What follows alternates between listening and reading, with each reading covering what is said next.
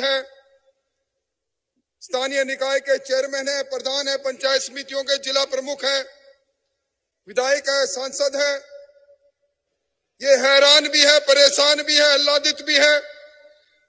हैरान और परेशान इसलिए है कि हमारे जनवरी 2020 में ग्राम पंचायत के चुनाव प्रारंभ हुए थे और आज दिसंबर 2021 है।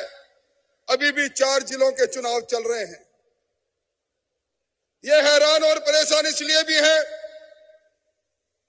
कि स्थानीय निकाय पर कब्जा करने के लिए वार्डों के पुनर्सीमांकन के अंदर 2011 की जनगणना के बहाने से दूसरी बार पुनर्सीमांकन करके एक ही शहर में कहीं पाँच हज़ार की जनसंख्या पर वार्ड, कहीं ढाई सौ की जनसंख्या पर वार्ड, पर इन सब के बाद स्थानीय निकाय के चुनाव हो, पंचायत राज संस्थाओं के चुनाव हो उनतीस में से सत्रह जिला प्रमुख जीतने की बात हो, भारतीय जनता पार्टी ने इस कांग्रेस को आईना दिखाया और आज आपके उपस्थिति में संकल्प महासम्मेलन निश्चित तौर पर संकल्प लेके आएगा।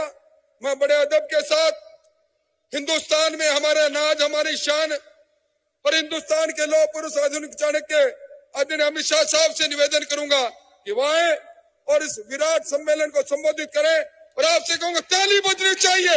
इस ओर से जोरदार ताली बजनी चाहिए। जोरदार। लगातार ताली बजनी चाहिए इस ओर से, उस छोर तक ताली बजनी चाहिए।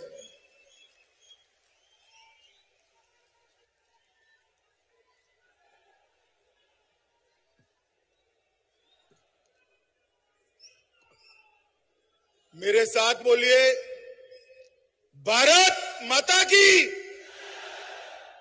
अरे क्या हो गया है राजस्थान वालों की आवाज़ को भाई? ऐसे बोलोगे क्या?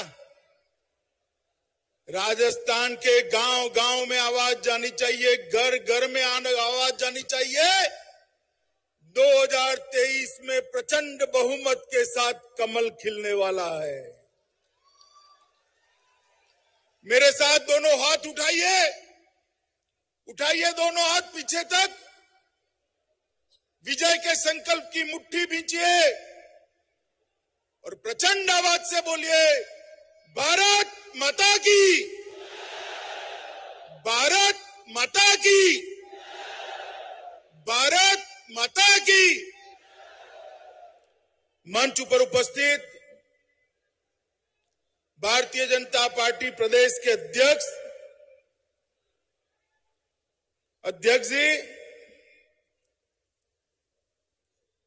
राजस्थान की पूर्व मुख्यमंत्री, यशस्वी मुख्यमंत्री, श्रीमती वसुंधरा जी,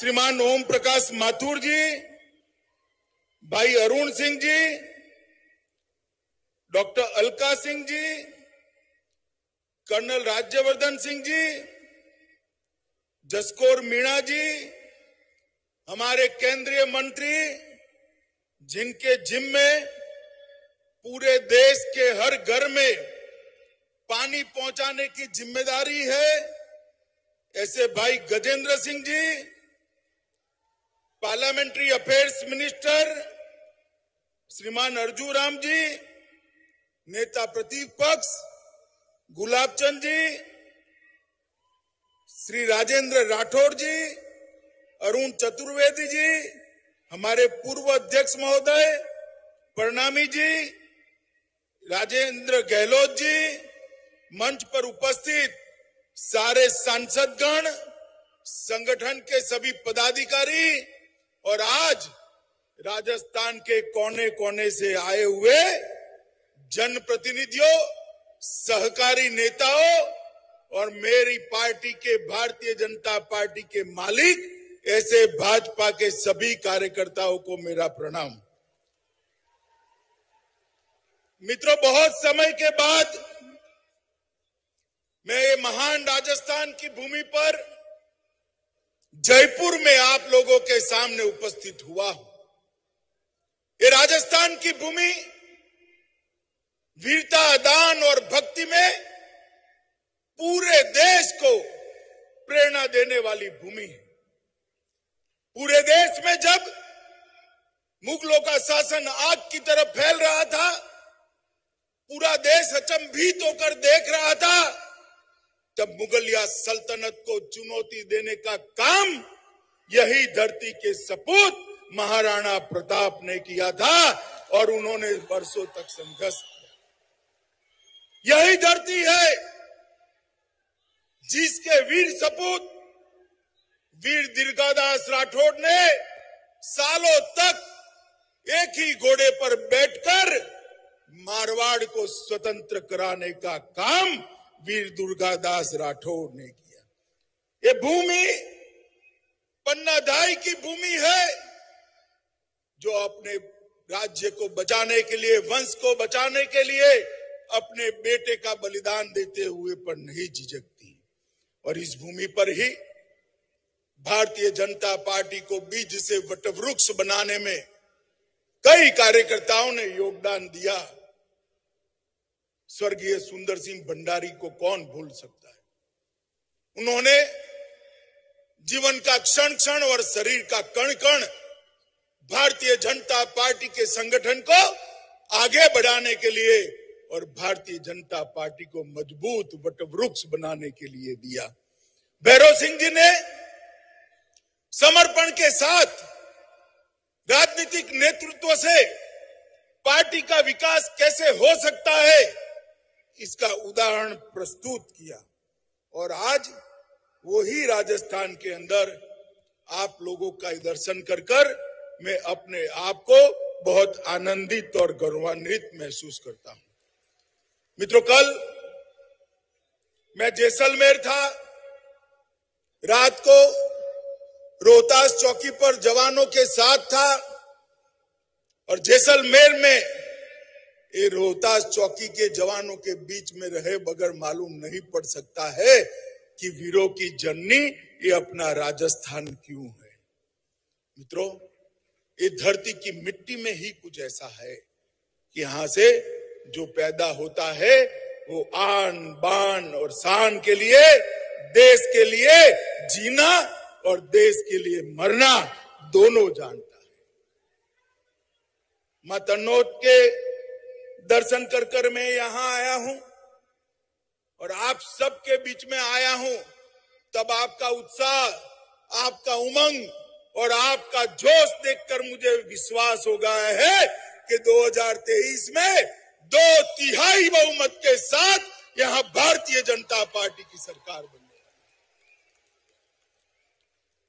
मित्रों, हम सालों से राजनीतिक क्षेत्र के अंदर संघर्ष कर रहे पचास से दशकों से हमारे पुरखों ने पार्टी बनाई, जो पार्टी संगठन के आधार पर चले, जो पार्टी विचारधारा के आधार पर चले, जो पार्टी हमारी सनातन संस्कृति को आगे बढ़ाने वाली हो, जो पार्टी भारत के गौरव के अंदर, भारत के गौरव में रची बसी हो जो पार्टी इसी धरती के मिले संस्कार और इसी मिट्टी की सुगंध को लेकर आगे बढ़ने वाली हो। और ये पार्टी की यात्रा कई सालों तक चली।